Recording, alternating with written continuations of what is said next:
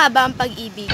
Isa ba itong pinakamakapangyarihang bagay upang baguhin natin ang buhay ng isang tao o magdudulot lamang ito ng kamalasan sa ating buhay? Maraming mga eksplanasyon, patunay, ideolohiyang ebidensya ang maaaring makunan natin ng kahulugan. Ngunit isang bagay lamang ang maaari natin. Tunghayan natin ang istorya ng isang dalaga na nagmahal pero masasaktan nga ba siya?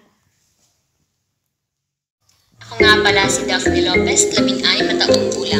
Nagkatira sa Harvard, New York City at nag-aaral sa Harvard University. Nasa ika-sampung baitang nasa heterogeneous section. Magkalain mo sa ganitong universidad mayroong pang ganitong paraan para iuri ang mga mag-aaral. Hindi nakabatay sa talino ngunit kung saan ka lang talaga naruming pasok. Kaya naman, ganitong klase na masyante sa room ang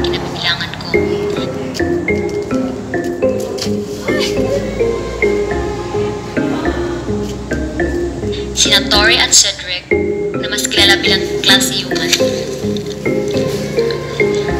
Ako na mas pabor nilang tawagin bilang isang nerd. Pero huwag kayo dahil may nerd na ito ay sentro ng lahat lalo sa panahon na... Hey class, good morning. Morning, ma'am. Ma'am, Okay class, you now take your seat. dapat ma'am, ay, Okay, ma'am.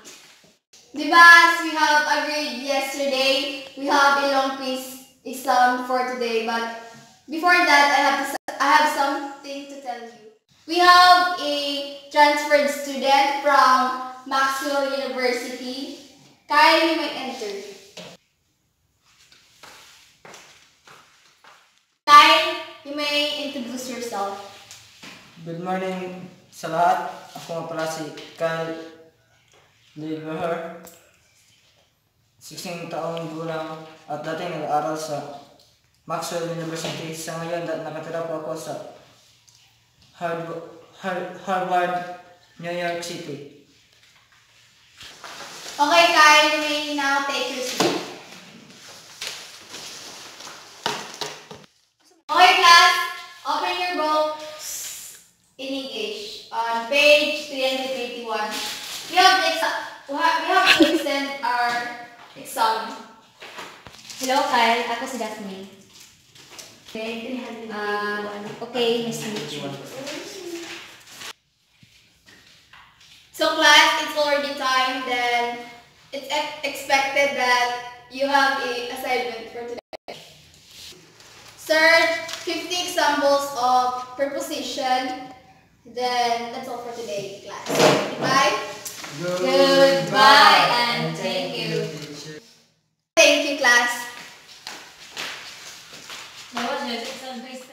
Kaya pagka uwi niya sa kanilang bahay, diretso siya kuha ng kanyang diary. Saan mo pala yung diary ko?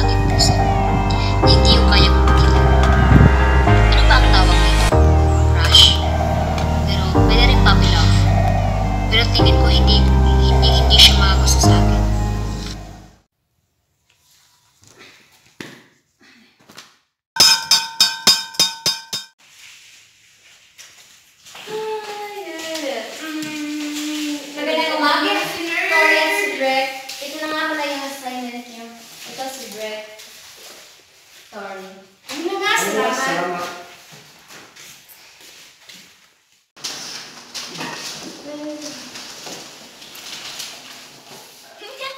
morning, Kyle.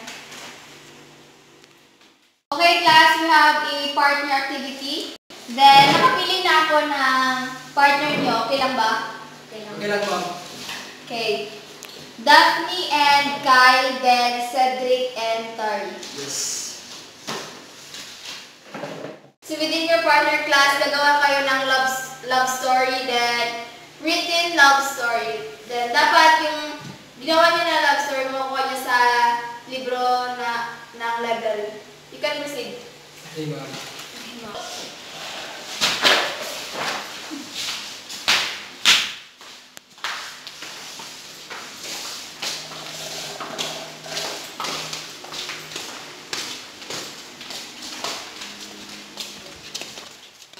Anong libro na love story ang gusto mo? Ikaw ang bahala. Hi! Salamat, napasilatan. Daphne? Daph- tama ba Daphne pangalan mo? Um, tama, Daphne. Da- Daphne ang pangalan mo. Ay, ko pala. Ito, may nahanap akong libro.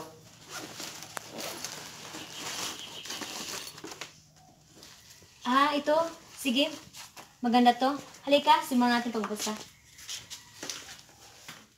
Hindi, pasensya na sa naging asal ko kahapon ah. Hindi maganda. Okay lang yun. Baka kasi na-preparation up ka, ka kasi transfer ka lang. Or, di ba, dahil sa mukha ko. Ako ba? Hindi no? Nahihiya lang talaga ako. Ah, kaya pala. Tingnan mo, Cedrico, nilalandi ng Renea ni Daphne ang Prince Charming ko. Oo nga. Tayo pabalik na sa classroom.